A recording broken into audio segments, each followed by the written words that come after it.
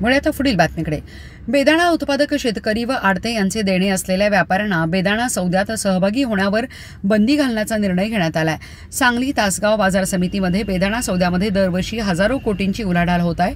या ठिकाणी होणाऱ्या सौद्यात देशभरातील व्यापारी सहभागी होतात. त्यामुळे या व्यापाऱ्यांकडील आडते शेतकऱ्यांचे सर्व पैसे येण्यासाठी तीस ऑक्टोबर ते पंचवीस नोव्हेंबर या कालावधीत बेदाणा सौदे बंद ठेवून शून्य पेमेंट उपक्रम राबवण्यात आला होता आणि आता उद्यापासून बेदाणा सौद्यांना सुरुवात होणार आहे.